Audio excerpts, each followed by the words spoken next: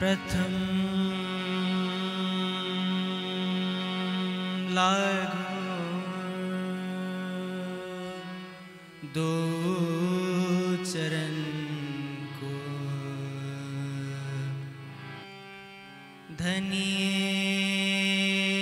छुड़ायो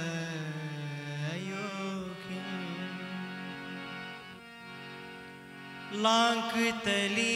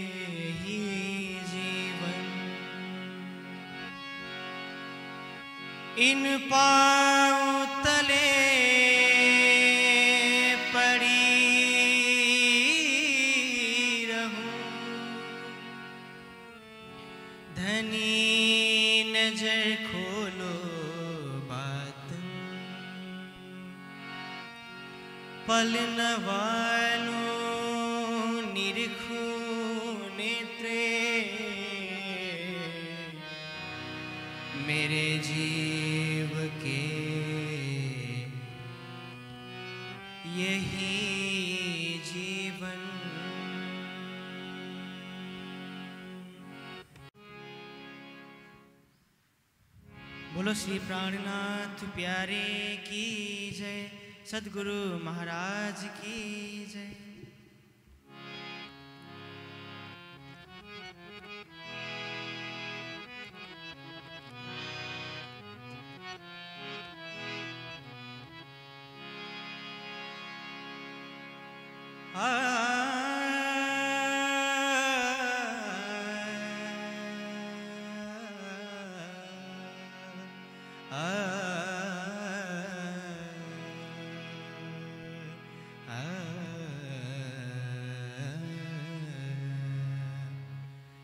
ऐसा खेल दिखाया जो मांग लिया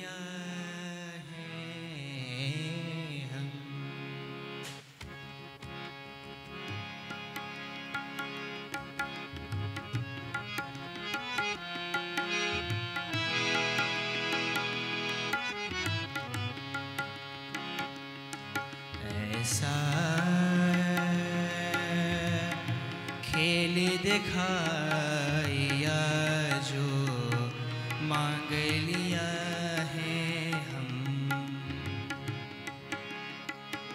अब कैसे मैं अर्ज़ करूँ? अब कैसे मैं अर्ज़ करूँ? कहोगे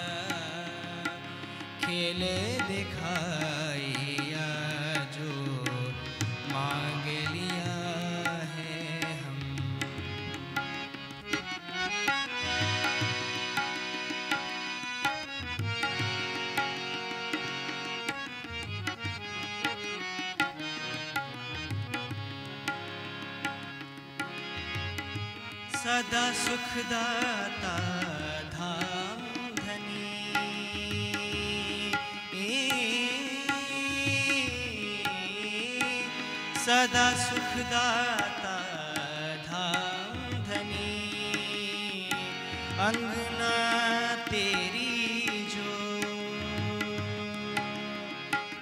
जानो संबंध कब ना हो तो।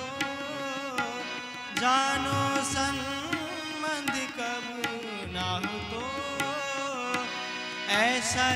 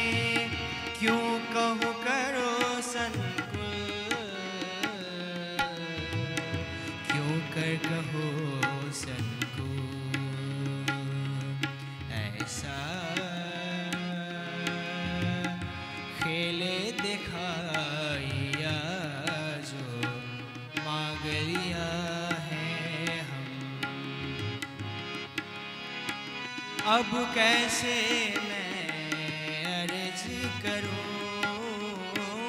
अब कैसे मैं अर्ज़ करूँ? कहोगे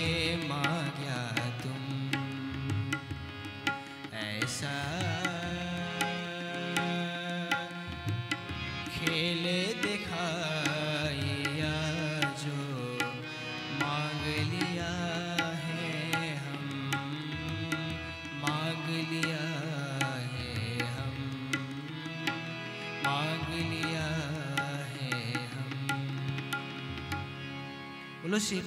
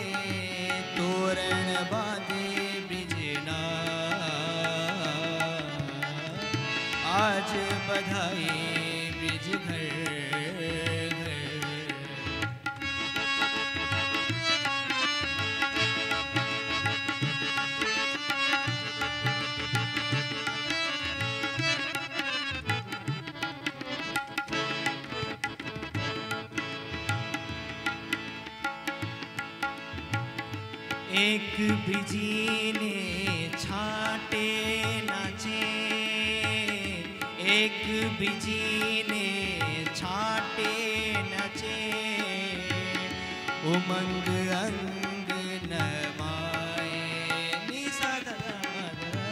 एक बिज़ी ने छाटे नचे उमंग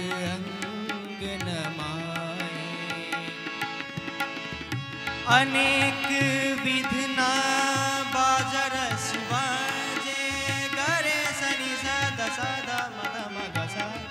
अनेक विधना बाजर सुबाजे, घर घर ऊंचौ आज बधाई बीज घर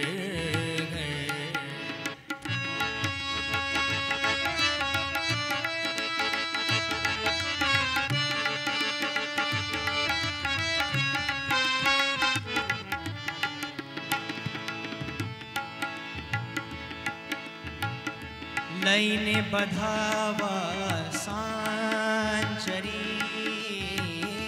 लैने बधावा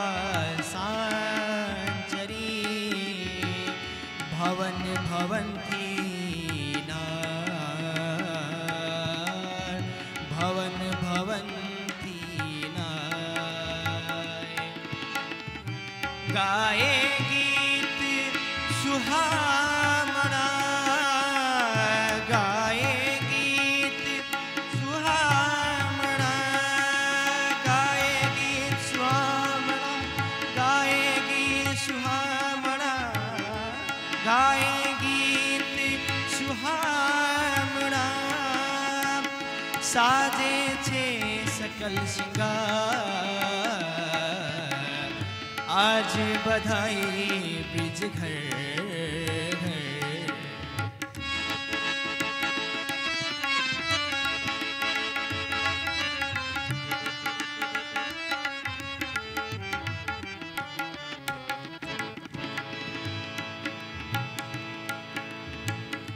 अबीर गुलाल उछाले ती आबे अबीर गुलाल उछाले ती आवे, छाया ना सूझे सू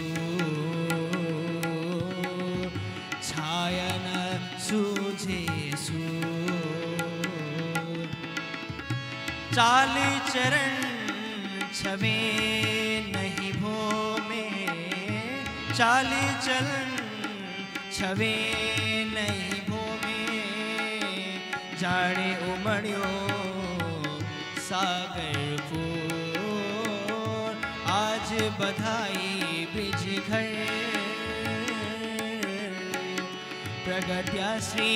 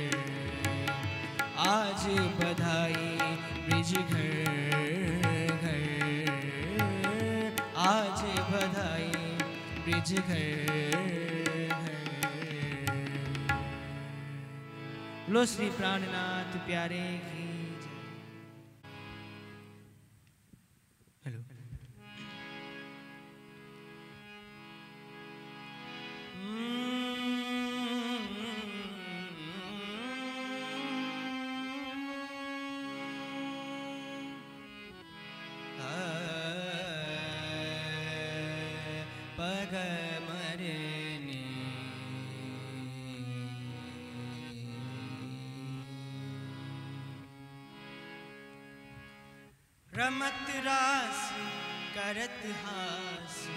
कान मोहन वेलरी कान मोहन वेली सखी कान मोहन वेलरी रमत रास, करत हास, कान मोहन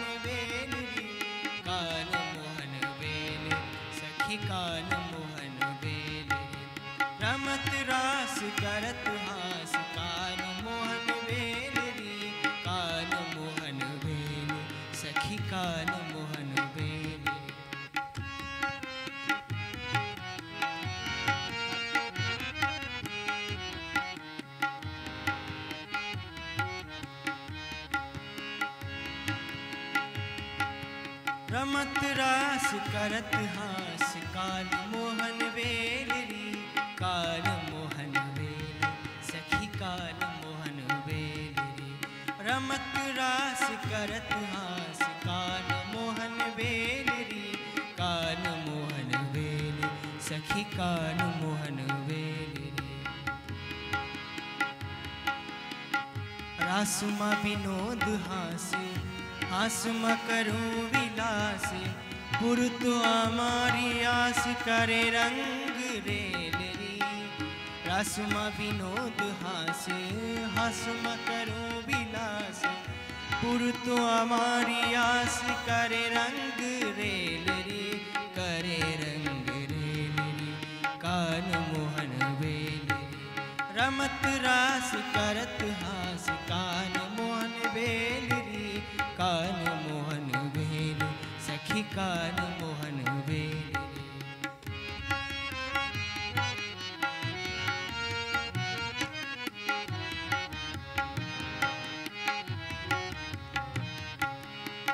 वाल यौवन विलासी गयो तो हम अमथिनासी कठिन करी ने निहासी दीदा दुख दो काल यौवन विलासी, गयो तो हम थिनासी कटन करी ने हाँसी दीदा दुख दोहनी दीदा दुख दोहनी कान मोहन बेदनी रमत रास करत हास कान मोहन बेदरी कान मोहन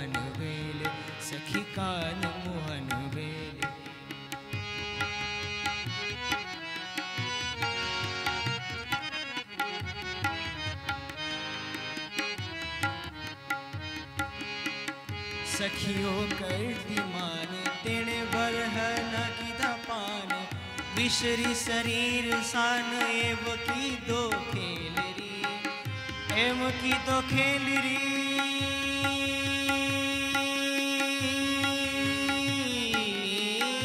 एव की दो खेल री एव की दो खेल री कान मोहन बेल री रमत रास करत हास, कान मोहन बेल री कान मोहन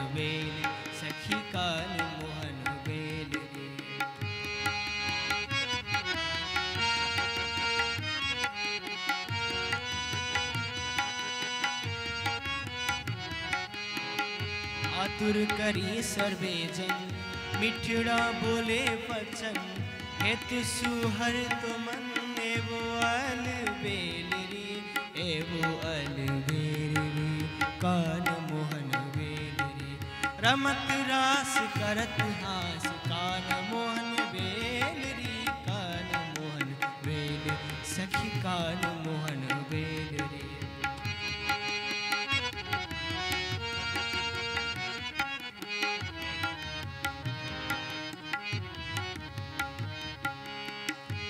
इंद्रावती कहे साथ, आवे न की जो विश्वास किण न मुखिए पास एवी बांधो बेलरी। इंद्रावती कहे साथ हवे न की जो विश्वास किण न मुखिए पास एवी बांधो बेलरी, एवी बांधो बेलरी।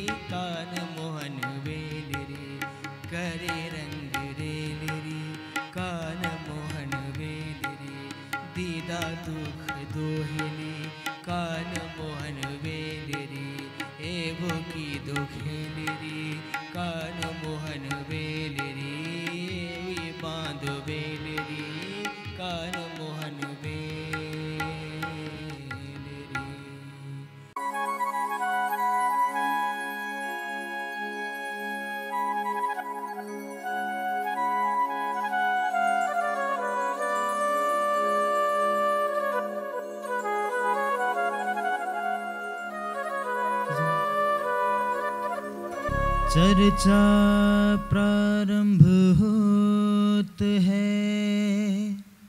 सुनो साथ चित दे। भजो राज श्यामा श्री प्राणनाथ। सखी जीवन हमारोए। श्री महमति कहे मोमिनो भया चर्चा का बखत। अब तुम सुनियो चित दे। लाल आगे आए बैठे न तखत।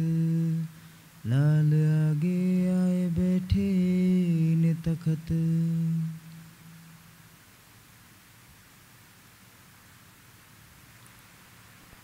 महाकारण अब कहूँ फेर के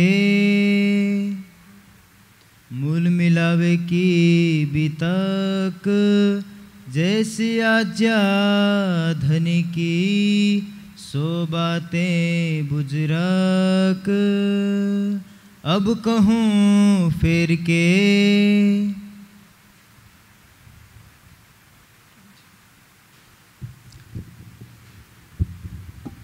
अक्षरातीत धामधनी। श्री लालदास जी के धाम हृदय से बीतक के आगे का प्रसंग वर्णित करवा रहे हैं।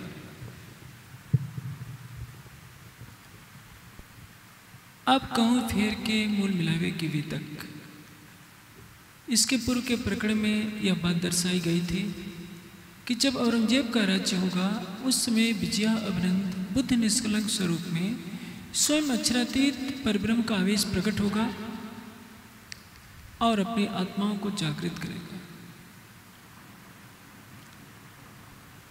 पुराण संहिता में यह बात दर्शाई गई है कि अग- अगाध अज्ञान जलधो पतिदास प्रियाश्च, स्वयं कृपा अम्बदो ममंच पुरुषोत्तम।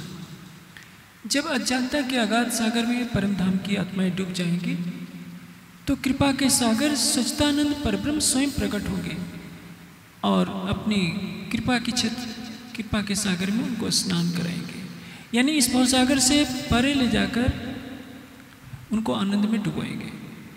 यह संकेत है पुराण संहिता में, महेश्वर दंत में, भविष्य दीपिका में, न जाने कितने ग्रंथों में ये साक्ष्य लिखी हुई है। अब इसके बाद का वर्णन करते हैं कि अब कहूँ, फेर के मूल मिलावे के भी तक मूल मिलावा कहाँ है? मूल का मिलावा, हमारा तन यहाँ है। हमारी सुरता परात्म में है, परात्म की है। हमारे मूल तन जहाँ बैठे हैं, मूल तनों का जहाँ मिलावा है, उसको कहते हैं मूल मिलावा। सखिया, राज्य को देखें, सा, अक्षर को देखें, तब तक अक्षर ब्रह्म सामने रहते हुए भी, सामने आते हैं। चांदनी चौक में अनादिकाल से आते रहे हैं और इसके बाद भी आते रहेंगे।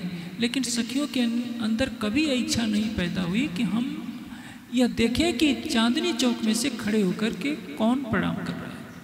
क्यों? क्योंकि राज, सबका हृदय राज्य के दिल से जुड़ा हुआ है। और कोई हृदय है ही नहीं। जो राज्य का हृदय है, वही श्यामा जी का हृदय है, वही सखियों का हृदय शरीर के धरातल पर हम हैं तो हम अपने को मनुष्य मानते हैं। किसी कुल गोत्र का व्यक्ति मानते हैं, स्त्री पुरुष मानते हैं। जीव के धरातल पर आएँगे तो हम कुछ और सोचेंगे। आत्मा के धरातल पर आएँगे तो कुछ हकीकत में प्रवेश करेंगे। और परात्म की नज़र से देखेंगे तो हम वही हैं जो मूल मिलावे में सिंहासन पर बैठा हुआ है। लेकिन जो परात्म के तन है, वो प्रेम और आनंद की लीला में डूबे हुए हैं, उनको खुद का भी पता नहीं। इसलिए राज जी ने उनके दिल में इच्छा पैदा की कि ये, इनको मैं अपने स्वरूप की पहचान कराऊँगा, ये तब होगा जब ये माया में जाए। यह क्या कर रही है? अक्षर ब्रह्म का भी जो तन है, वो मात्र कार्य कर रहा है। अंदर लीला करने वाले स्वयं अक्षरातीत है। ब्रज में जो ग्यारह वर्ष बावन दिन की लीला हुई थी, उसमें पूरी निद्रा थी। किसी को पता नहीं था कि हम कौन हैं, आए कहाँ से हैं। सखियों को भी शुरू में तो थोड़ा थोड़ा आभास था, बाद में वो सब भूल गई। उन्होंने शारीरिक पतियों को अपना पति माना और श्री कृष्ण के तन में बैठे हुए अक्षरातीत के अवेश स्वरूप को भुला दिया। योग माया के ब्रह्मांड में जब वो जाती हैं,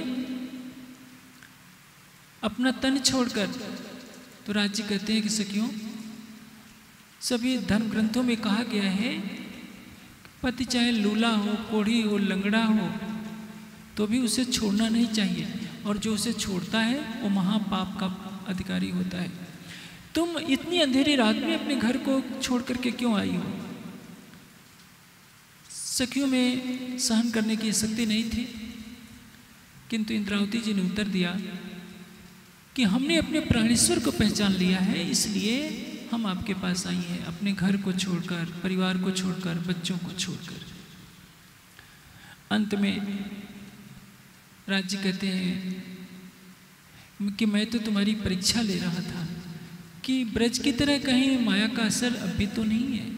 अब प्रेम में लीला होती है। उस अक्षर ब्रह्म को दिखाने के लिए कि परम धाम का प्रेम क्या है? प्रेम शरीर से परे होता है। वासना और प्रेम में छत्तीस का संबंध है। संसार में वासना होती है, प्रेम नहीं होता है। प्रेम के मार्ग पर वह चल सकता है जिसको इस पंचभूतात्मक शरीर से कोई संबंध न हो। क्योंकि यह शरीर त्रिगुणात्मक है। प्रेम आत्मा के धरातल पर होता है और वासना शरीर के धरातल पर। अक्षर ब्रह्म अपनी इच्छा मात्र से अनंत ब्रह्मांडों का सृजन करते हैं, लय करते हैं। लेकिन परम धाम के प्रेम का उन्हें आभास नहीं था। अक्षर और अक्षरातीत तो नहीं है। एक ही अक्षरातीत का स्वरूप, जब सत्ता के रूप में क्रीड़ा करने लगता है तो वो अक्षर कहलाता है। स्वरूप एक लीला दो। अब अक्षर ब्रह्म लीला में इतने डूब जाते हैं कि उनको खुद को पता नहीं कि मैं किसके साथ क्रीड़ा कर रहा हूँ। फिर मूल स्वरूपे देख्यातीत ये दो मगन हुए खेलत जब जोश लियो खींच कर तब चित चौंक वही अक्षर। कौन बन, कौन सुखिया, ये चौंक के फिरे अदम मूल स्वरूप देखते हैं कि ये कौन है। ये तो दोनों ही मग्न हो गए। ब्रज में तो बिल्कुल निद्रा थी। योग माया के ब्रह्मांड में थोड़ा सा पता रहता है कि ये हमारे धाम धनी है। लेकिन घर का पता नहीं था। जैसे ही राज्य ने अपना जोश खींचा तो तन वही होता है, सखियों को दिखाई नहीं पड़ता है। सखियाँ विरह में डूब जाती हैं। बहुत प्रयास करने के बाद भी सखियों को वह तन नहीं दिखाई पड़ता है। इधर अक्षर की आत्मा व्याकुल होकर देखती है कि ये सखियाँ कौन है? कौन ये रो रही है?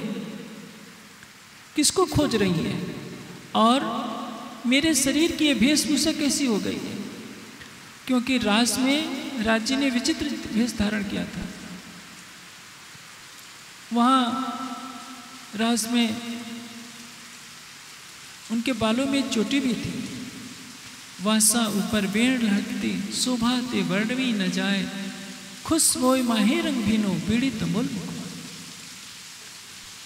अपनी विचित्र वेशभूषा को जब अक्षर देखते हैं तो राज्य के द्वारा उनको बोध कराया जाता है कि अक्षर? देखो, तुमने जो परम धाम की प्रेम में लीला मांगी थी, उसी लीला को तुम्हें दिखाया जा रहा था। कौन बन, कौन सखियाँ जो चौंक के फिरी आतम। जब राज्य अपना आवेश देते हैं, आवेश कब आता है? जब उस ब्रज की लीला के नाटक का अभिनय किया जाता है। ब्रज लीला में जो भी हुई थी लीला, उसको सब सखियाँ अभिनय के रूप में प्रस्तुत करती हैं, क्योंकि श्री कृष्ण जी को यही लीला सबसे अधिक पसंद थी। इंद्रावती जी ने श्री कृष्ण का अभिनय किया और परिणाम यह होता है कि राजीव पुनः प्रकट हो जाते हैं। जब काल माया से योग माया में जाने का प्रसंग होता है, इंद्रावती जी की आत्मा कहती है कि राज्य मैंने आपका वेश धारण कर आपका अभिनय प्रारंभ किया। है कृष्ण का वेश धारण करके इंद्रावती की आत्मा उस समय अभिनय करती है कि अब मैं सबको ब्रज से रास में ले जा रही हूँ। और जैसे ही मुख पर बांसुरी रखी योग माया के ब्रह्मांड में जाकर राज्य ने अपना जोश दिया, अपना आवेश दिया वह पुनः तन प्रकट हो जाता है, सखियों के साथ पुनः रासलीला शुरू हो जाती है। मैंने अभी कहा कि रास का तात्पर्य है रस की क्रीड़ा। अक्षरातीत का हृदय, अनंत प्रेम, अनंत सौंदर्य, अनंत आनंद, अनंत शांति का अगाध सागर है। जब वह सागर उमड़ने लगता है तो उसको कहते हैं रास हो रही है। इस माया की दुनिया में जो रास खेली जाती है, वो तो उछलने कूदने तक सीमित रह जाती है। परम धाम शब्दातीत है, उसकी अनंत प्रेमयी लीला को बेहद मंडल में दर्शाया जा रहा है कुछ अंश के रूप में। और बेहद मंडल में जो परम धाम का रस प्रवाहित हो रहा है, उसको अंश के भी अंश मात्र में इस दुनिया में कहा जा रहा है। जो उछलने, कूदने का जो प्रसंग आता है तरह तरह की रामतों के रूप में, उसके अतिरिक्त कोई साधन ही नहीं है, जैसे कि बताया जा सके कि रास क्या होती है। इसको वही जान सकता है, जो उस रस में डूबा हुआ हो। किरंतन में एक प्रकरण आता है, रसमगन भई सो क्या गावे? आप किसी को स्वादिष्ट स्वादिष्ट मिठाई दीजिए। और पूछिए कि कैसा लग रहा है? खाने वाला तो जानता है, लेकिन किस तरह से बताए कि इसका स्वाद कैसा है? जो परमधाम की आत्माएँ थी, उस रासलीला में या तो वो जानती हैं, या स्वयं श्री राज्य जानते हैं। वाणी के द्वारा शब्दों में किस तरह से व्यक्त किया जाए? यह एक माया की दुनिया में कठिन समस्या है, इसलिए रामतों के रूप में उसको दर्शाया गया है। आप देखते हैं। एक छोटे बच्चे के सामने कोई बढ़िया खिलौना रख दीजिए तो उछलने कूदने लगता है। उछलने कूदने की उसने कला सीखी नहीं है। उसके हाथ, पैर स्वतः ही स्पंदन करने लगते हैं। उसी तरह से परम धाम की रामतों परम धाम की प्रेमयी लीला को रामतों के रूप में योग माया के ब्रह्मांड में व्यक्त किया गया, जिसको तारतम वाणी के प्रकाश में हम जानते हैं। राज जी ने एक नहीं, कई बार अपने बारह हज़ार रूप धारण किए एक एक सखी के साथ रास की रामते की और सबको तृप्त कर दिया। अक्षर की आत्मा ने देखा हाँ प्रेम का विलास यही होता है। सखियों ने भी समझा कि कालमाया के ब्रह्मांड में जो बावन दिन की जुदाएगी का हमने कष्ट झेला था, वह कष्ट भी अब समाप्त हो गया। इसके पश्चात यमुना जी में सबने स्नान किया। स्नान करने के पश्चात जब वनफल आरोगा तो राज जी ने पूछा कि, सखियों, बताओ, यह वृंदावन कैसा लगा? सखियों का कहना है कि राज जी वृंदावन बहुत सुंदर है। आपने प्रेम करके हमें आनंद भी बहुत दिया, लेकिन आनंद में वियोग हमें सहन नहीं होता है। हमें ऐसी जगह ले चलिए जहाँ एक पल के लिए भी हम कभी अलग नहीं हो सके। राज्य कहते हैं कि वह तो मात्र केवल परम धाम है। हवे वाला एटलू मांगो खीण एक अलगा न थइए, जी हाँ हमने विरह नहीं, चालो देकर जाइए। हमें वहाँ ले चलिए, जहाँ हम आपसे एक क्षण के लिए भी अलग न होने पाए। आप देखिए, माया की नीति का प्रभाव। ब्रज में सखियाँ हैं, ग्यारह वर्ष, बावन दिन तक राज्य के साथ। लेकिन बावन दिन तक वो बोलने के लिए राज़ी नहीं है। क्योंकि उनको संसार की मर्यादा नज़र आती। है कि लोग क्या कहेंगे? कि नंद के बालक के साथ यमुना के किनारे गई। है मेरे पति क्या कहेंगे? मेरी सास क्या कहेंगे? इस जागनी ब्रह्मांड में कितनी विचित्र स्थिति है। राज्य को आए हुए लगभग कितने साल हो गए? 1638 में परमधाम की आत्माओं के साथ अक्षरातीत अपनी आत्माओं को लेकर आए हैं। श्री देवचंद जी के तन से लीला प्रारंभ होती है। और आज लगभग 400 साल से अधिक वर्ष हो गए लेकिन सबको तो माया का खेल अच्छा ही लग रहा है। आप देखेंगे सुंदर साथ कई पीढ़ियों से एक ज्ञान को ग्रहण कर रहे होते हैं। तारतम लिए हुए पचास वर्ष भी हो जाते हैं। सौ साल की तो उम्र आजकल बहुत कम होती है, लेकिन उम्र का एक बहुत भाग बड़ा बीत जाता है। राज्य से मिलने की तड़प किसको होती है? इसका कारण क्या है? पहचान का न होना। हम शब्दों से वाणी के ज्ञान को ग्रहण अवश्य कर रहे हैं, लेकिन वह ज्ञान केवल कंठ में रह जा रहा है, हृदय में प्रवेश नहीं कर पा रहा। ज्ञान मस्तिष्क में तो है, हृदय में नहीं है। मस्तिष्क में बुद्धि का, बुद्धि की क्रियाशीलता होती है। मन, चित्त, बुद्धि और अहंकार चारों अंतकरण है। बुद्धि में जब तक भावात्मकता नहीं आती, प्रेम का प्रवेश नहीं होता, तब तक बुद्धि की शुष्कता मनुष्य के हृदय को भी शुष्क बनाए रखती है और परिणाम यह होता है उसको पूर्ण रूप से अध्यात्म का रस नहीं मिल पाता। कल आपने सुना था कि श्री जी के अंतर्धान होने की बात सुनते ही अनेकों सुंदर साथ ने वही तन छोड़ दिया। उनके हृदय में ज्ञान का प्रकाश भी था तो धनी के लिए प्रेम भी था। आज हम वाणी पढ़ते हैं परम धाम की चितवनी भी करते हैं, लेकिन राज्य के बिना हमें रहना भी अच्छा लगता है। राज्य कहीं दूर नहीं गए। इस जागनी ब्रह्मांड में बता दिया, हक नजीक सेहरक से आड़ो पटना द्वार। हमारे प्राण की नली से भी निकट है राज्य। ये ब्रज में नहीं पता था, रास में भी नहीं पता था, इसलिए पूरे वृंदावन में खोज डाला था। परम धाम में रहते हुए भी हमने ये माना कि हम राज्य को रिझाते हैं और राज्य कुछ अलग हैं, हम उनको रिझाते हैं, हमारा प्रेम बड़ा है।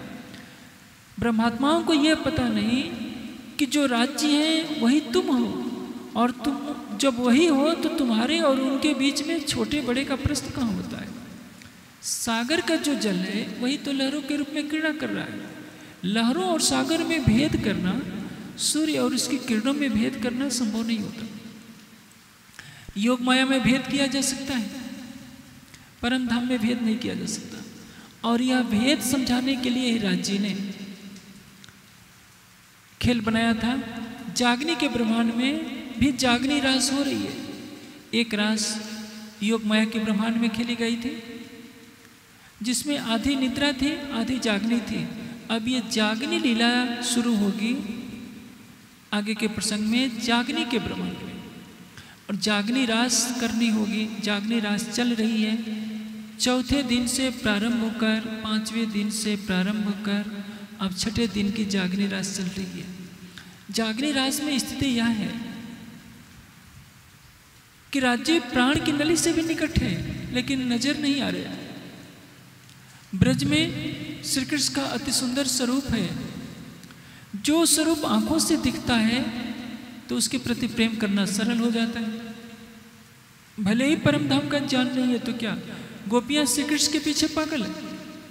योग माया में भी यही स्थिति है। योग माया में श्री कृष्ण जी का अति सुंदर किशोर स्वरूप दिख रहा है। ब्रज में तो बालक का तन था। दूसरे दिन से ही सखियाँ आ गई थी कि हमारे धाम धनी आए। धीरे धीरे माया का प्रभाव बढ़ता जाता है। राज्य की पहचान भूलती जाती है। श्री कृष्ण जी का भी तन बड़ा होता जाता है। ग्यारह वर्ष होते होते माया का आवरण इतना पड़ गया कि सखियों को श्री कृष्ण जी का रूप पराया लगने लगा, अपने पति अपने लगने लगे। योग माया के ब्रह्मांड में सबने अपना तन छोड़ चढ़कर प्रवेश किया था, महाराज की लीला की थी। काल माया के ब्रह्मांड में जो ये जागनी का ब्रह्मांड बना है, इसकी विचित्र स्थिति है। योग माया के ब्रह्मांड में भूख प्यास का कष्ट नहीं है। बुढ़ापा नहीं है, मृत्यु का कष्ट नहीं है। सामने सुंदर स्वरूप दिख रहा है तो उसे प्रेम करना सरल है। हाँ परम धाम की पहचान नहीं है। जागनी के ब्रह्मांड में कठिनाई ज़्यादा है। कठिनाई ज़्यादा है तो लाभ भी ज़्यादा है। योग माया के ब्रह्मांड में श्री कृष्ण जी का स्वरूप जब अदृश्य हो जाता है तो सखियाँ पूरे वृंदावन में घूम जाती हैं बिलखते बिलखते आज तारतम वाणी के प्रकाश में हर ब्रह्मात्मा कह सकती है। ऊपर तले अर्श न कया अर्श कया मोमिन कलो। मेरी आत्मा का दिल ही धनी का धाम है। मेरे धाम हृदय में पच्चीस पक्ष बसते हैं। मेरे धाम हृदय में युगल स्वरूप बसते हैं।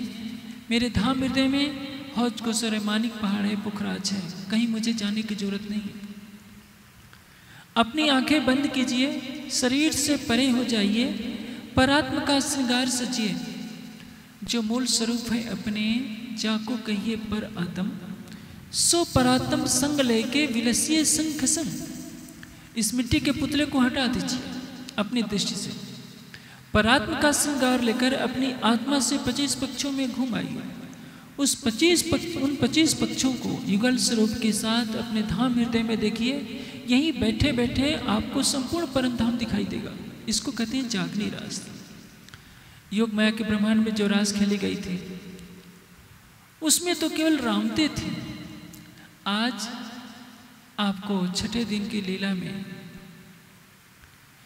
खिलवत, परिक्रमा, सागर श्रृंगार के माध्यम से राज्य के एक एक अंग की शोभा में डूबने का सौभाग्य प्राप्त है, जो ब्रज में प्राप्त नहीं था, रास में प्राप्त नहीं था। अष्टपहर की सारी लीला का रस आप ले सकते हैं। कि मानिक पहाड़ पर कैसी लीला होती है? पुखराज पर कैसी लीला होती है? यमुना जी के सातों घाटों में कैसी लीला होती है? हौज कौशल में राज्य के साथ क्रीड़ा करने का क्या आनंद है? मानिक पहाड़ की चांदनी हो, पुखराज पहाड़ की चांदनी हो, या रंग महल की चांदनी हो, हौज कोसर के मध्य में टापू महल की चांदनी पर लीला करने का क्या सुख है? सागरों में लीला करने का क्या सुख है? आँखें बंद कीजिए और प्रत्यक्ष देखिए। अब बिलखने का जमाना नहीं है, लेकिन विरह में तो जीव को बिलखाना पड़ेगा। इसलिए प्रकाश हिंदुस्तानी में इंद्रावती जी ने बार बार अपने जीव को फटकारा है, मेरे जीव सुहागी रे तो क्यों न करें पीसो पहचान इतना सब कुछ अठारह हज़ार सात सौ अंठावन चौपाइयों में कह दिया है, लेकिन हँसी की लीला क्या हो रही है?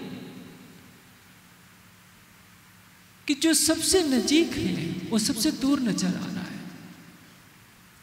ब्रजराज के पश्चात परम धाम की आत्माएँ इस माया के जगत में आई हुई हैं। पुनः राज खेल के आए घर, उमेदा न हुई पुरन, धाक मन में रही, तब श्यामा जी को धनिए हुक्म ऐसो गए। क्यों सही? तब हम भी आए तित, श्यामा जी खेले परम धाम की आत्माएँ इस नश्वर जगत में श्यामा जी के साथ आई हुई हैं, उनके साथ स्वयं अक्षरातीत भी आए हुए हमको खेल दिखावन काज, हम सो आगो आए श्री राज। सब जानते हैं कि राज्य हमारे साथ पल पल है, लेकिन विश्वास नहीं है। हम राज्य को कहाँ ढूंढते हैं? बाहर। इंद्रावती जी कहती है, मैं अर्च में जुदे जानती, लावती शब्द में वर्णन। जड़ में सिर ले ढूंढती हक आए दिल अर्श मैं जड़ संसार में खोजा करती थी, कहाँ मिलेगा? हक आए दिल अर्श चेतन। वो तो हमारे धाम हृदय में अपना आसन मान कर, मार करके बैठे। इस खेल में आना ही व्यर्थ है, यदि हमने अपने आत्मा के धाम हृदय में अपने प्राणेश्वर को नहीं देखा। उनसे बातें नहीं की, उनकी बातें नहीं सुनी। जागनी रास ऐसी रास है जिसमें सबके लिए अधिकार दे दिया गया है। उस महारास में तो केवल परम धाम की ब्रह्मात्माएँ अपने जीवों के साथ पहुँची और चौबीस हज़ार कुमारिकाओं की सुरताएँ पहुँच पाई थी।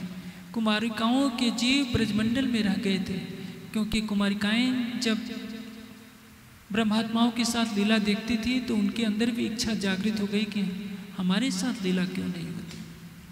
और इसके लिए उन्होंने तरह तरह के व्रत उपवास किए। उनकी यही इच्छा पूरी करने के लिए राज जी ने वचन दिया कि तुम्हारे साथ भी लीला होगी। अब जब योग माया में परम धाम की आत्माओं की सुरता गई तो कुमारिकाओं की सुरता भी चली गई थी।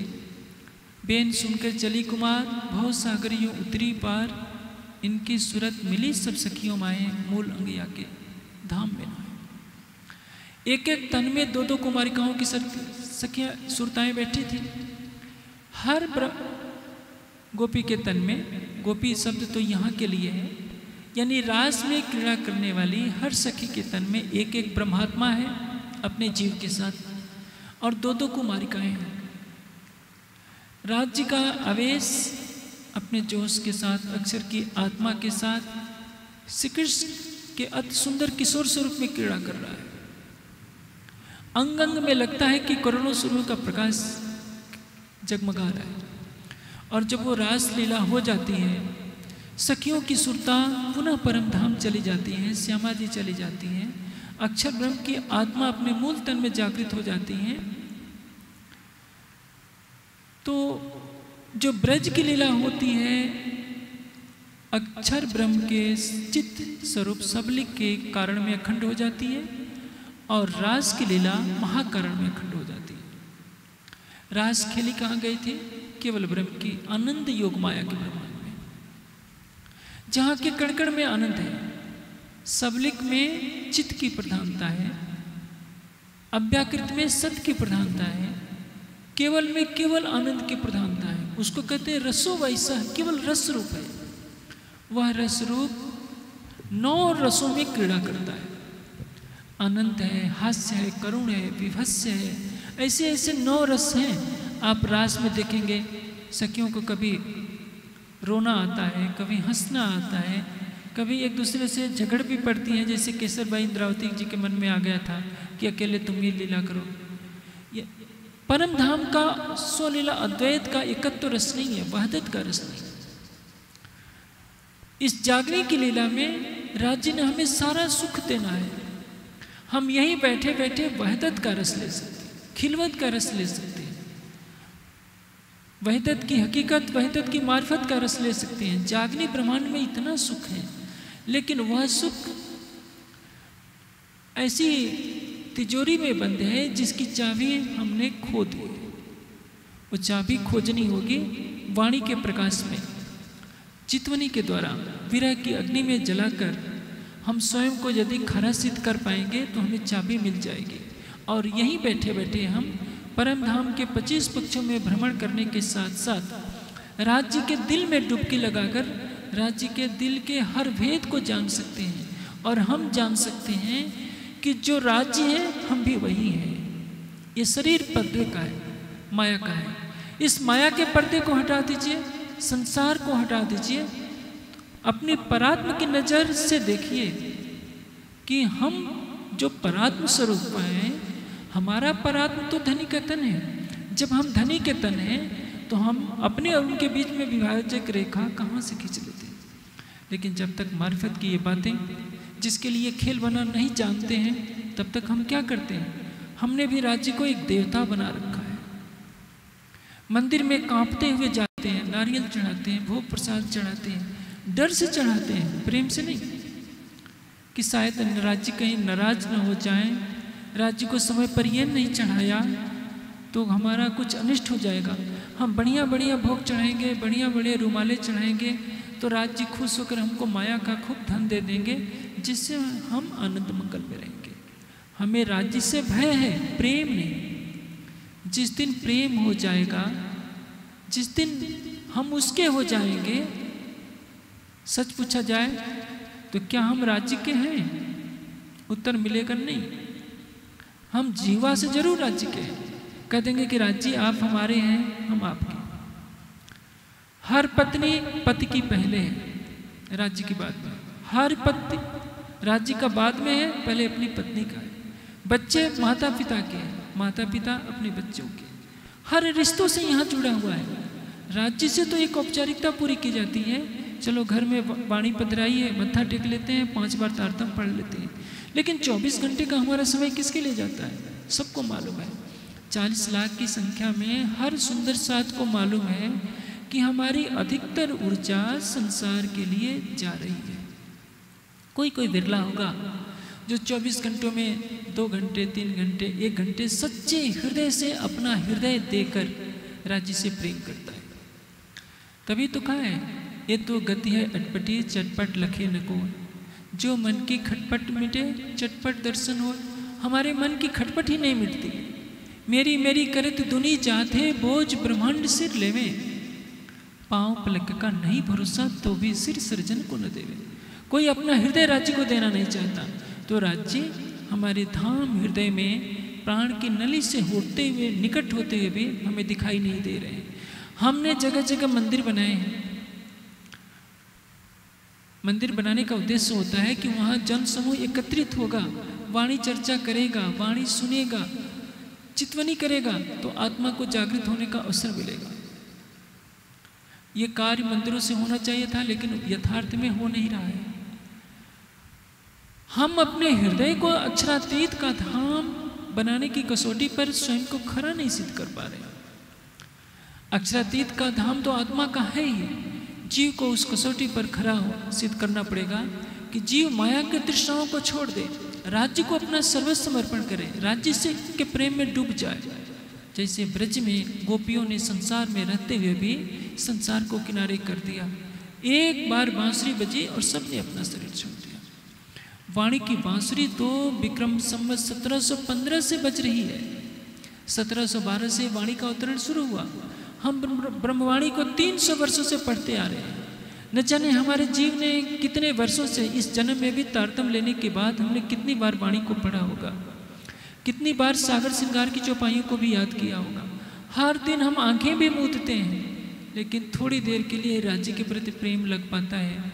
वो विशुद्ध प्रेम जब आ जाए तो वाणी तो कहती है, पाव पल साथ की जुदागी न सो। अक्षरातीत ऐसे हैं जो एक पल के चौथाई हिस्से के बराबर भी हमारा वियोग सहन नहीं कर सकते।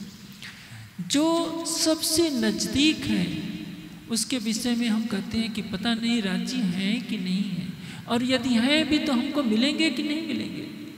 जो हमारे नहीं है, उनको कहते हैं कि यही तो हमारे हैं। हमारे कौन है? बच्चे। संगे संबंधी रिश्तेदार जो माया के हैं, आज हैं, कल नहीं रहेंगे। किसी बात पर रुठ जाए तो हमसे मुँह फेर लेंगे। और वह तो ऐसा है कि बिना बुलाए, बिना पहचान दिए हमारे धाम हृदय में आकर के बसता है। हमारे गुनाहों को नहीं देखता। हम कितने झूठ बोलते हैं। हमारे जीव कितने काम क्रोध, लोभ, अहंकार की अग्नि में चल रहा है। इन गुनहगारों के दिल को अर्ज़ कर बैठे मेहरबान। वो मेहर का सागर है। उसके हृदय में मेहर का ही दरिया उमड़ रहा है। हम कितने भी पाप करते हैं, फिर भी हमारे पापों की वह की तरफ़ वो नहीं देखता है। परम धाम के मूल संबंध के कारण हमारे धाम हृदय में प्राण की नली से भी निकट होकर के विराजमान बैठा है और श्रृंगार की वाणी में पुकार करके कहता है, रूहों, मेरे, मैं रे तुम्हारा आशिक मैं तुम्हारा आशिक हूँ। आशिक किसको कहते हैं? रोम रोम में रम रहिया पीव आशिक के अंग। इसके लिए ऐसा किया, कोई हो गया एक रंग। आशिक के रोम रोम में उसका मासूक बसता है। हम अपने धाम हृदय में राज्य को बसाएँ या ना बसाएँ? राज्य ने तो हमें अपने चरणों में, मूल मिलावे में भी बैठा रखा है और यहाँ भी बैठा रखा है। ये दो तन तले कदम के आत्म पर आत्म। हम आँखें बंद करते हैं, गिले सिकवे करते हैं राज्य आते नहीं हो, आते नहीं हो। राज्य हँसते हुए कहते हैं, मैं आऊँ कहाँ? कहीं दूर हो तो आऊँ। तुम्हारे हृदय में तुम्हारे प्राण की नली से भी निकट हो। पर्दा तुमसे हटता नहीं। तुम पर्दे पर देखने लगते हो। इस पर्दे को हटा दो। शरीर और संसार के पर्दे को हटा दो। तुम, तुम्हारी अंत चक्षुओं के सामने मैं प्रत्यक्ष दिखूँगा। मैं तुमसे पल पल बात करता हूँ। तुमने अपनी आत्मा के कानों को बंद कर रखा है। तुमने अपनी आत्मा के चक्षुओं को बंद कर रखा है। इसलिए न मेरी आवाज़ सुन पा रही हो, न मुझे प्रत्यक्ष देख पा रही हो। ये जागनी रास चल रही है। जागनी रास में सबको सुनहला अवसर है। संसार के लिए भी जो प्राणी, जिसके अंदर परम धाम की आत्मा नहीं है, अक्षरधाम की आत्मा नहीं है, यदि वह भी सच्चे हृदय से युगल स्वरूप की शोभा को दिल में बसाएगी। वो बसाएगा जीव कोरा से कोरा जीव भी तो उसको वह स्थान मिलेगा जो परम धाम की ब्रह्मात्मा के जीव को मिलेगा। इसलिए अब प्रश्न नहीं है कि हम ब्रह्म सृष्टि है कि नहीं, सबको मानना है कि हम परम धाम की ब्रह्म सृष्टि ही है, और हमें वैसे ही समर्पण करना होगा जैसे कि परम धाम की ब्रह्मात्मा कर रही है। ये वाणी का ज्ञान सारे संसार के लिए है। हमने तो एक छोटा सा संप्रदाय बना रखा है। मंदिरों का एक घेरा बना रखा है कि हमारे एक संप्रदाय का मंदिर है। हम इस ब्रह्मवाणी को संसार के लिए नहीं समझ पाते। यह ठीक है कि ब्रह्मात्माओं को सुख मिलेगा, लेकिन ब्रह्मात्माओं का भी तो कर्तव्य है कि सारे संसार के लिए इसे प्रस्तुत करें। आओसी आओसी रे, सब कोई कहते आगमी करते पुकार, सो सत्यवानी सबों की करी, अब आए करो दीदार। संसार जिसकी बाट देख रहा था, वह आ गया, उसकी वाणी आ गई, फिर भी उसके मानने वाले, उसके अंग कहलाने वाले परम धाम के सुंदर साथ ने इस ब्रह्मवाणी को मंदिरों की दीवार में कैद कर रखा। संसार के जो दूसरे मत पंथ हैं, अपने मिथ्या ज्ञान को भी संसार में तेज़ी से फैला रहे हैं, और हम तेज़ी से छिपाते जा रहे हैं। हम जगे हैं क्या? हम तो खुद सो रहे हैं। लगता है कि यह जागने का ब्रह्मांड नहीं, सहन का ब्रह्मांड बन गया है। अभी यह प्रसंग चल रहा था कि महाराज में क्या क्या लीला हुई थी। सबली के कारण में ब्रज लीला हुई थी और सबली के महाकारण में रास लीला अखंड हो गई थी। कारण और महाकारण में ये दोनों लीलाएँ जो हो रही थी सबलिक के स्थूल, जिसको कहते हैं अव्याकृत का महाकारण। अव्याकृत के महाकारण में इन दोनों लीलाओं का प्रतिबिंब पड़ा। आप जानते हैं, अव्याकृत के महाकारण को इस सबलिक का स्थूल कहते हैं। अव्याकृत में वेदों का अखंड स्थान है। वैदिक ज्ञान की धारा यहाँ शब्द रूप में हमें सुनाई पड़ती है। अव्याकृत चेतन है और उस चेतन ब्रह्म की ज्ञान धारा वेद के रूप में संसार में प्रकट होती है। जब महाराज की प्रतिबिंब लीला को वेदों ने देखा तो कहा कि हे परब्रह्म, इस लीला का रसपान तो हमें भी होना चाहिए। उस रास बिहारी श्री कृष्ण कहा तुम सखे रूप में हो जाओ, माधुर्य रस में डूब जाओ तो तुम्हें भी इसका रस मिलेगा। प्रकटवाणी में कहा है, ये तीसरा इन भया जो अब, अक्षर की सूरत का सब यही सूरत की सखियाँ भई प्रतिबिंब वेद ऋचा जो गई प्रतिबिंब की सखियाँ कौन है? वेद ऋचा सखियाँ कौन है? ये गहन रहस्य है। वेदों ने बारह हज़ार सखियों का रूप धारण किया, उसको वेद ऋचाएँ कहते हैं। आपको पहले मैंने कहा, कुमारिकाएँ चौबीस हज़ार थी, कुमारिकाएँ तो महाराष्ट्र में चली गई थी।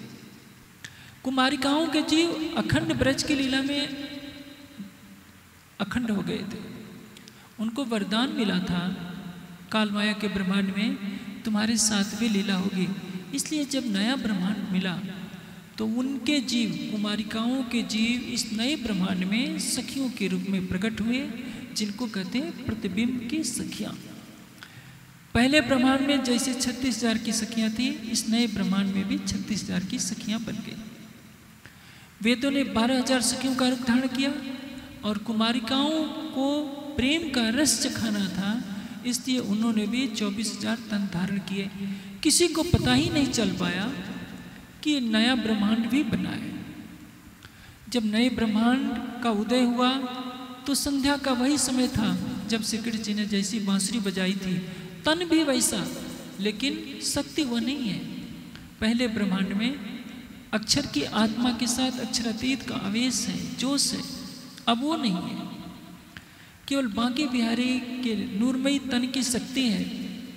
नया ब्रह्मांड बनता है, उसमें ग्यारह दिन की लीला होती है। सात दिन गोकुल में, चार दिन मथुरा में। पहली रात्रि इस संसार के अंदर छः महीने की कर दी गई थी, किसी को पता नहीं चल पाया।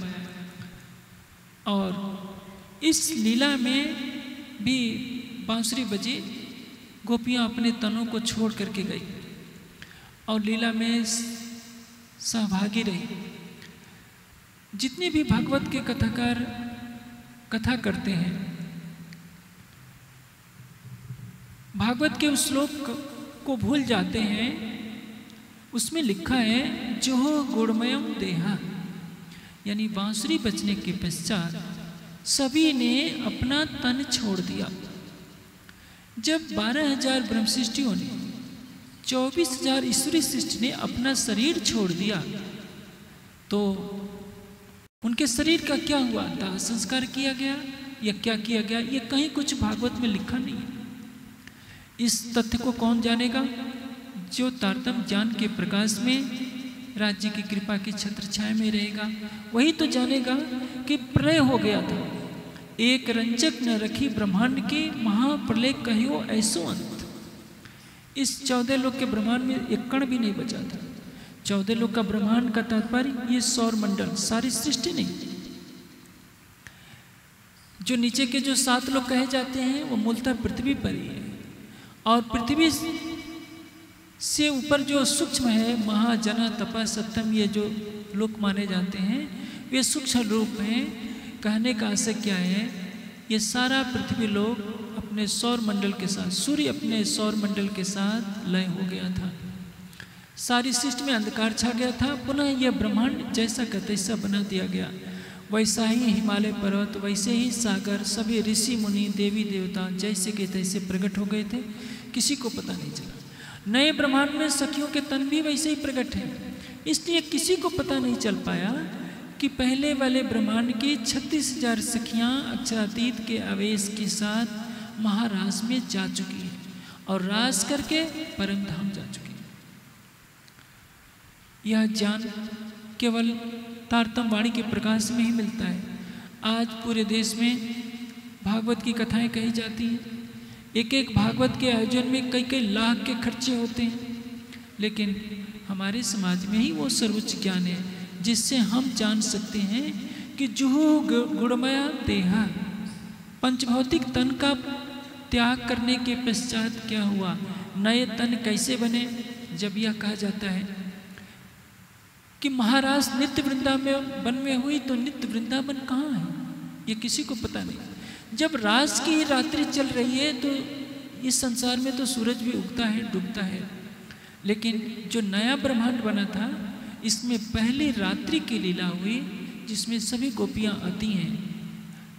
बांके बिहारी का जो रास बिहारी का किशोर तन है, उसकी शक्ति आकर इस ब्रह्मांड में जो श्री कृष्ण जी हैं, उनके साथ क्रीड़ा करती है। रास में जो लीला करने वाला स्वरूप है, किशोर अवस्था का है, यानी 16 साल की अवस्था का। यहाँ ग्यारह वर्ष बावन दिन तक की लीला हुई तो इस प्रमाण में जो लीला करने वाला तन होगा उसकी आयु ग्यारह वर्ष बावन दिन की ही रहेगी क्योंकि इस प्रमाण में इसी की, के, की तरह से लीला कर रही है। इसमें लीला करने के पश्चात जब प्रातः काल होने से पहले सभी सखियाँ अपने घर आ गईं। उनके घर वालों ने देखा कि ये तो सखियाँ सब हमारे पास ही सो रही थी। आप देखिए भागवतकार ने ये नहीं वर्णन किया कि पहले तो घर वाले पीछा कर किए कि हमारी पत्नियाँ ये बांसुरी की आवाज़ सुन सुन कर कहाँ भागी जा रही है। वो देखते हैं कि तन छोड़ छोड़ करके ये कहीं और चली जा रही हैं, इनके शरीर छूटते जा रहे हैं। फिर उसी भागवत में लिखा है कि वो उनको सोते हुए मिली। ये दोनों में एक रूपता नहीं है। इस कुत्थी को बिना तारतम जान के कोई भी सुलझा नहीं पाया। अब इसमें बिरा का रस चखाना है, क्योंकि अब ये सखियाँ बेहद मंडल की हैं। चौबीस हज़ार कुमारिकाओं के जीव बेहद के वासी हो चुके हैं। हद की दुनिया में उनको विरह का रस चखाए बिना बेहद का अधिकारी पूर्ण रूप से नहीं माना जा सकता। वेदों ने बारह हज़ार सखियों का रूप धारण किया है माधुर्य रस का पान करने के लिए। परिणाम क्या होता है? सात दिन गोकुल में लीला होती है। कंस को मारने के निमित्त श्री कृष्ण जी को जाना पड़ता है मथुरा। अक्रूर जी लेकर के जाते हैं, वहाँ कंस का वध वगैरह करते हैं। जब राशि वस्त्र का श्रृंगार करते हैं तो वह शक्ति चली जाती है। और वह शक्ति जो रास बिहारी की थी थी, ब्रजमंडल में पुनः राधा जी के तन में पृष्ठ हो जाती है। उनको समझाने के लिए पुनः श्री कृष्ण जी को भेजना पड़ता है उद्धव को कि जाकर के सखियों को समझाओ, क्योंकि उद्धव को अपने ज्ञान का अहंग था। यही विरह में छोड़ी दे सो पहुँची जहाँ स्वरूप सुने ब्रज की चौबीस हज़ार कुमारिकाओं के जीवों की सखियाँ, जिनको प्रतिबिंब की सखियाँ कहते हैं, और वेद ऋचा सखियाँ। ये छत्तीस हज़ार सखियाँ उद्धव को सिखापन जो देने आए थे, उनके मुख पर उनको चांटा मारती है। मुख पर चांटा, हाथ से नहीं, अपने प्रेम के वचनों से। जो उद्धव ने दई सिखापन, सो मुख पर मारे फेर वचन। रे उद्धव मन न भये दसवीस उद्धव मन न भये दसवीस। तो हमसे योग साधना की बातें करता है। एक हो तो सो गयो श्याम श्याम संग को और आधे इस। हमारा मन तो श्याम के साथ चला गया है। कैसे हम योग साधना करें?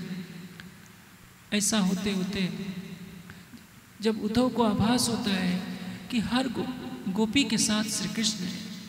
उद्धव के ज्ञान का अहंकार टूट जाता है।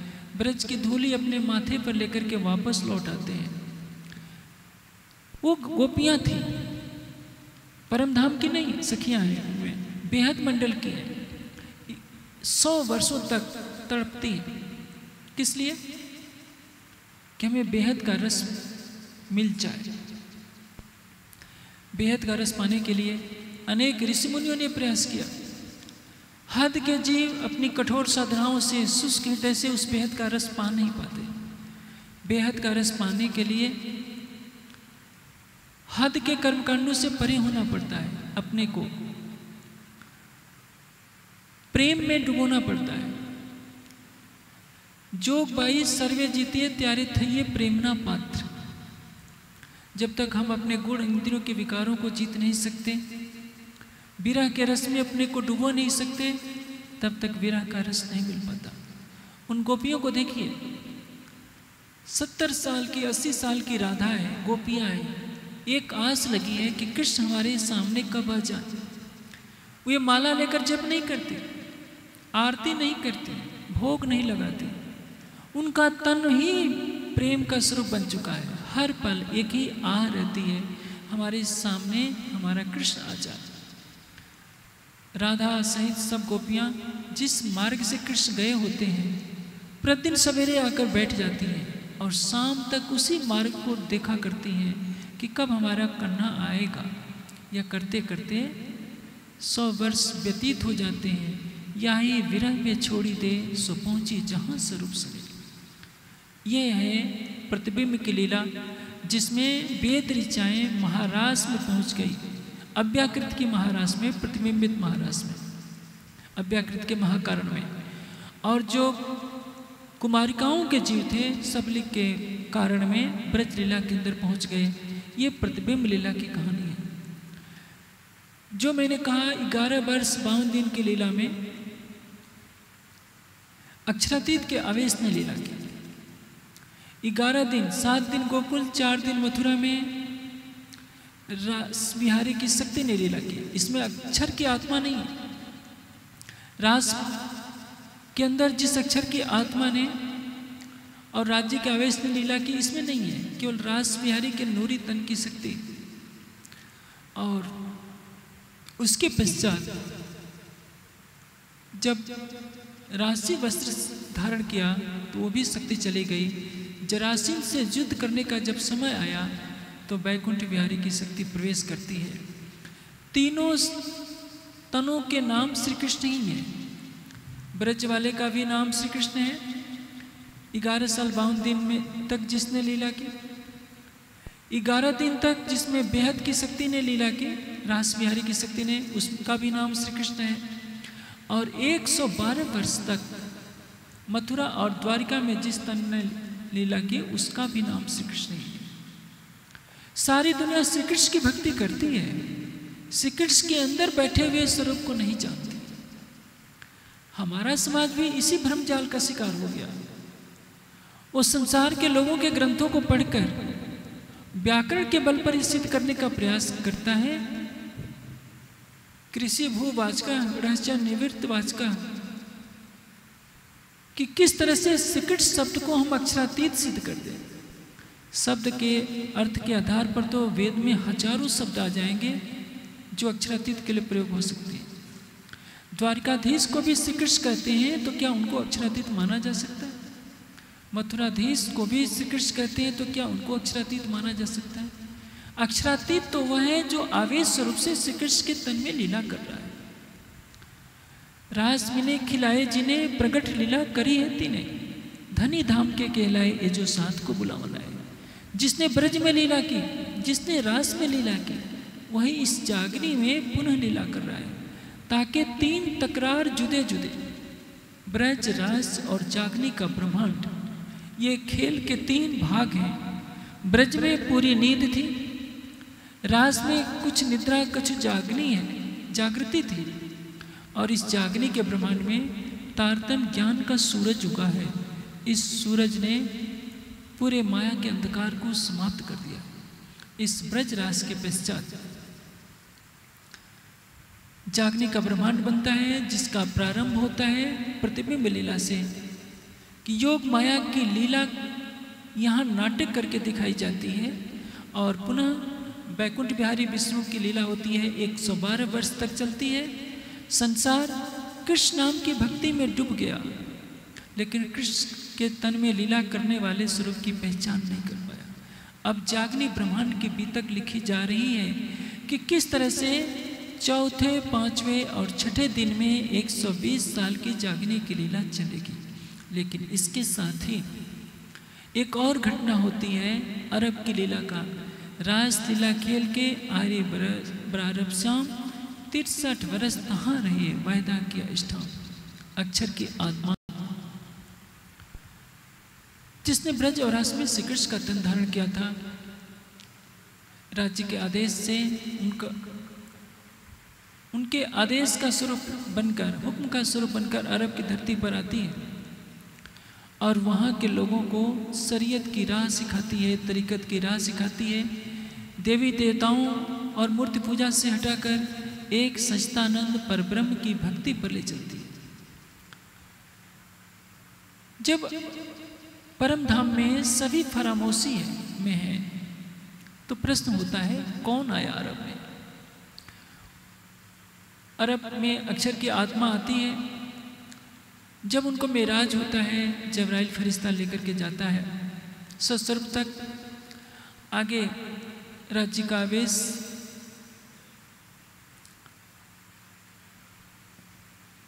प्रेम का आवेश मिलता है, अक्षर की आत्मा मूल मिलाव में पहुँचती है, राज्य से नब्बे हज़ार हरूफ बातें करती हैं। उस नब्बे हज़ार के हरफ को, के जान को लेकर इस संसार में आती है, लेकिन सब भूल जाती है। फिर समय समय पर शरीयत की एक एक बात को तरीक़त की एक एक बात को अवतरित किया जाता है। जो मार्फत के जो शब्द होते हैं, मोहम्मद साहब की जबान पर चढ़े ही नहीं, क्योंकि वो भूल गए। वो हकी स्वरूप के साथ अवतरित होना है। ये बसरी स्वरूप कहा गया, बसर कहते हैं, यानी मानव रूप में। अरब के लोगों को मानवता का पाठ सिखाना था। वे लोग मानवता को भी भूल चुके थे। इसलिए मोहम्मद सल्लल्लाहु अलैहि वसल्लम के रूप में जो ज्ञान दिया गया अरब के लोगों को मानवता का धर्म सिखाने के लिए कि एक अल्लाह ताला की बंदगी करें, समय के साथ उसमें जो हेर फेर हुआ। आज वह कुरान आया था संसार में शांति की स्थापना के लिए, लेकिन उसी कुरान की ओट में आजकल आतंक पैदा किया जा रहा है। कुरान की आयतों का विकृत अर्थ करके ऐसा दर्शाया जाता है कि संसार के सारे लोग ही काफिर हैं और सबको समाप्त करके इस्लाम का झंडा फहरा दो। कुरान में ऐसी तो कोई आयत नहीं जो ऐसा कहती हो। लेकिन हाँ उन आयतों का उल्टा अर्थ करके कहीं ना कहीं एक विकृत मानसिकता पैदा की जा रही है, जो संसार को विनाश की तरफ़ ले जा रही है। जब अक्षर की आत्मा मेराज में पहुँचती है तो देखती है कि सबके चेहरे पर फरामोशी है, यानी कोई बोल नहीं रहा है। राज्य से पूछती है कि ये चुप कौन है? और इनकी फरामोशी कब हटेगी? राज्य कहते हैं, इनकी किल्ली तेरा दिल ये खुले जब आओ मिल। तुमने माया का खेल मांगा है, जब तुम सभी जागृत होकर के आओ तो यह फरामोशी हटेगी। केवल परम धाम की आत्माओं को साक्षी देने के लिए मोहम्मद साहब के रूप में भेजा गया था अक्षर की आत्मा को, ताकि जब प्राणनाची का स्वरूप प्रकट हो तो सारा संसार जान जाए कि सारी दुनिया के पूर्ण ब्रह्म सच्चिदानंद आए परमात्मा किसी वर्ग विशेष का नहीं होता किसी स्थान विशेष का नहीं होता। सारी सृष्टि उसकी अपनी है। यदि कुरान में साक्षी नहीं होती कतेब ग्रंथों में साक्षी नहीं होती तो अरब के लोग या मुस्लिम समा, समाज यही कहता कि प्राणनाथ जी का स्वरूप तो केवल हिंदुओं का है हम क्यों माने लेकिन यह साक्षी देने के लिए कि अक्षरातीत का जो आवेश ब्रजराज में लीला करता है, वही अक्षर की आत्मा अक्षरातीत का आदेश लेकर कुरान का ज्ञान देती है कि सबकी भक्ति छोड़कर एक सच्चिदानंद परब्रह्म की भक्ति करें। वेदों में केवल एक सच्चिदानंद परब्रह्म की उपासना का विधान है। एकम सद बहुधा विप्रबदन परमात्मा एक है। उसके अनंत नाम हो सकते हैं। लेकिन परमात्मा एक ही है।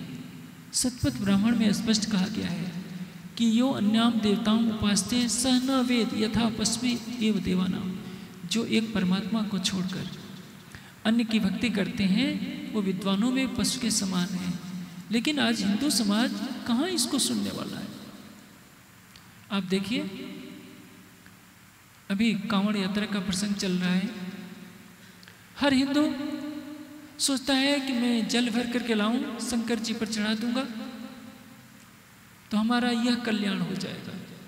उस बेचारे को यह पता नहीं कि सच्चा शिव कौन है। भगवान शिव का भी चित्र देखिए तो वो भी ध्यान लगाए बैठे हैं।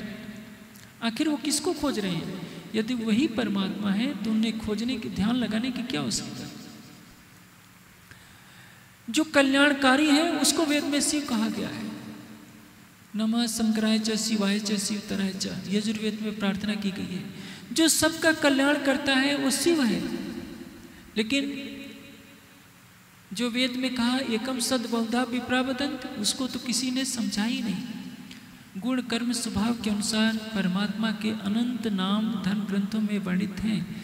लेकिन हिंदू समाज कितना भटका हुआ है। कहीं शालिग्राम की पूजा, कहीं शिवलिंग की पूजा, कहीं किसी जड़ पदार्थ कहीं लकड़ी की मूर्ति बनाकर, कहीं पत्थर की मूर्ति बनाकर, कहीं वृक्षों की पूजा, कहीं तालाबों और नदियों की पूजा। सर्वशक्तिमान परमात्मा की भक्ति सबने छोड़ दी। आदित्य वर्ण तमसा परस्ताद जिसको कहा गया है। जिसके लिए कहा गया है, शुक्र ज्योति, चित्र ज्योति सत्य ज्योति, ज्योतिषमान उसकी भक्ति सबने छोड़ दी। सालिग्राम को भोग लगाया जाएगा छप्पन। और जिसके तन में साक्षात नारायण बसता है, वो आता है तो उसको कहा दिया जाता है, तुमने ठाकुर जी के मंदिर में पैर रख दिया, मंदिर अशुद्ध हो गया। भला साबुन में मैल कहाँ से आ गई? जिसको आप शुद्र कहते हैं, जिसको आप दलित कहते हैं, उसको मंदिर में घुसने नहीं देते कि हमारे भगवान का मंदिर ही अशुद्ध हो जाएगा। पूछिए, क्या भगवान तुम्हारा दलितों का नहीं है? क्या तुम्हारा वही है दलितों का नहीं, जो सारी सृष्टि का परमात्मा है? वो तो सभी प्राणियों के हृदय मंदिर में है। क्या तुमने कभी गीता को पढ़ने का प्रयास किया, जो कहती है कि ईश्वर सर्वभूतानाम हृदय से तिष्ठती अर्जुन? हे अर्जुन, परमात्मा सभी प्राणियों के हृदय मंदिर में है। तुमने तो हृदय मंदिर में बैठे हुए भगवान को भोग नहीं लगाया।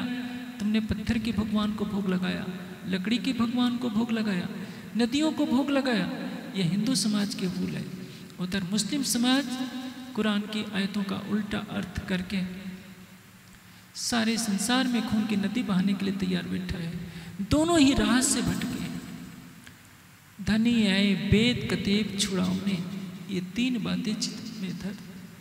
साहेब आए इंचमी करने कारज तीन, सो सबका झगड़ा मेट के या दुनिया यादी मेटन लड़ाई बंधन के जुदे जाते पैगंबर, धनी आए वेद कतेब छुड़ावने ये तीन बातें चित्त में धर ब्रजराज की लीला का वर्णन सुना।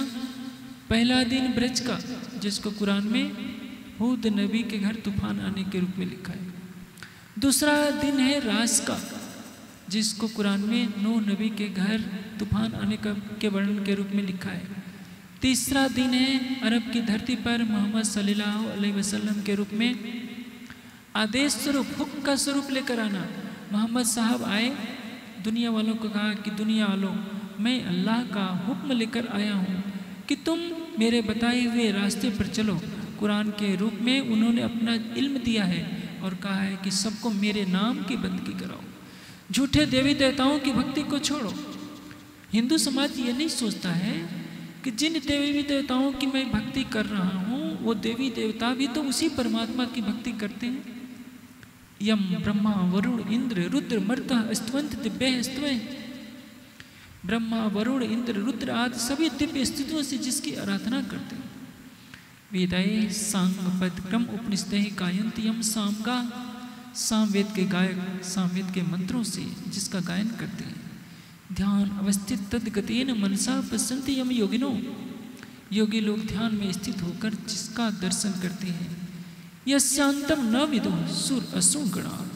तस्मय देवाय नमो जिसका आदि और अंत न देवता जानते हैं, न असुर जानते हैं। उस सच्चिदानंद परमात्मा की हम वंदना करते हैं।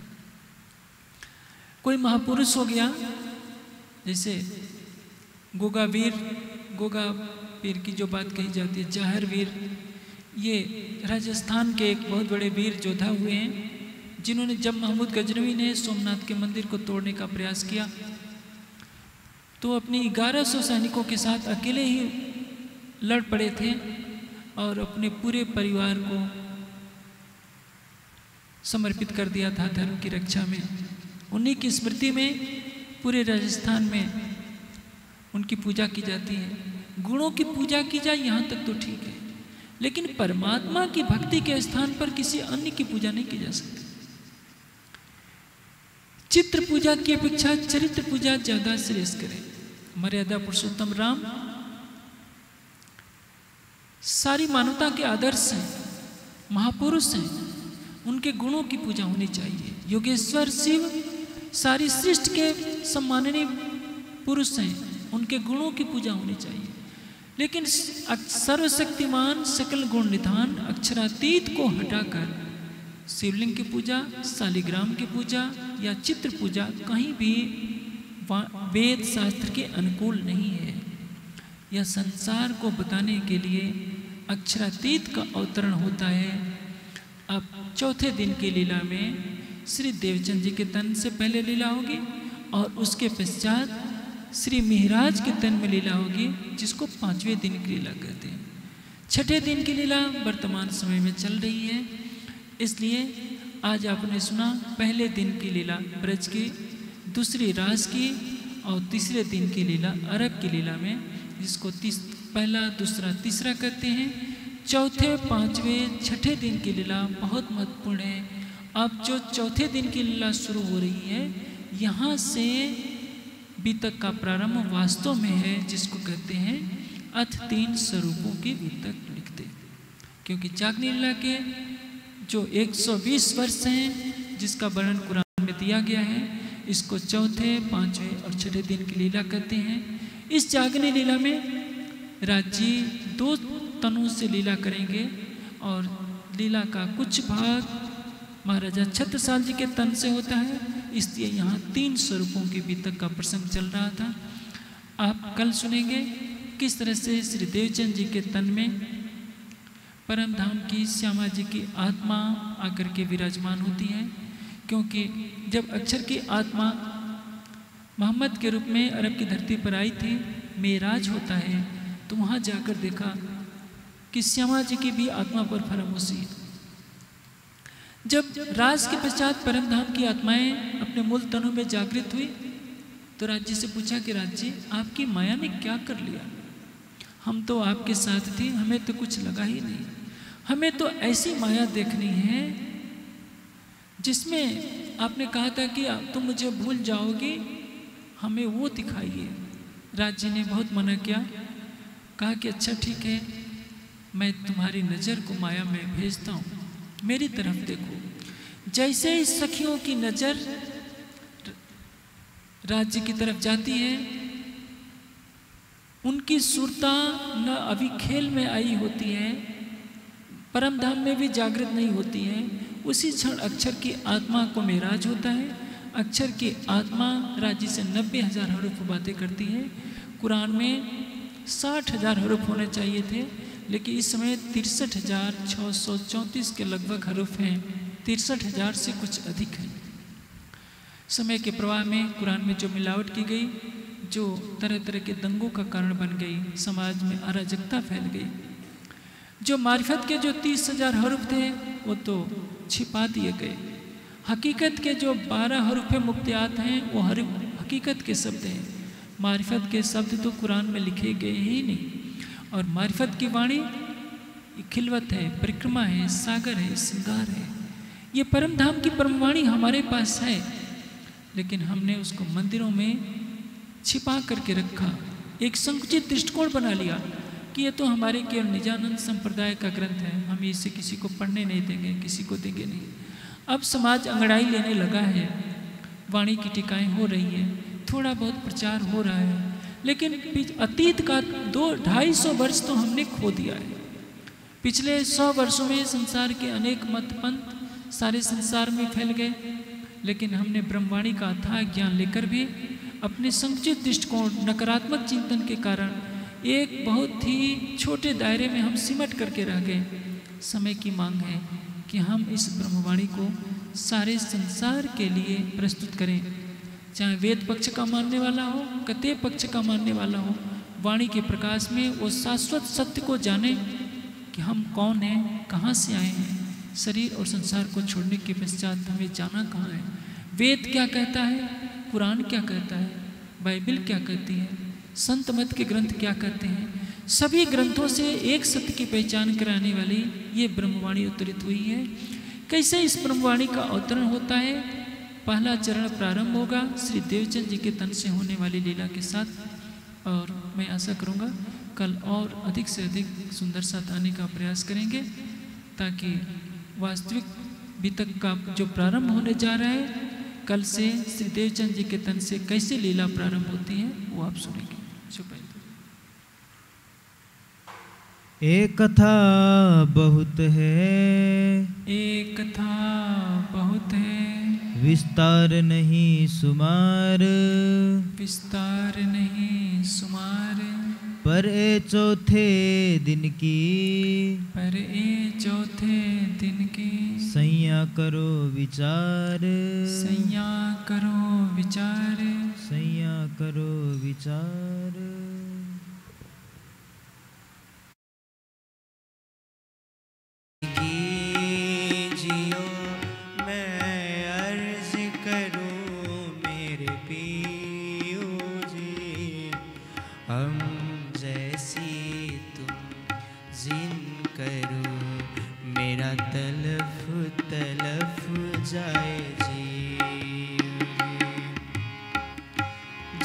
তোরা তো জি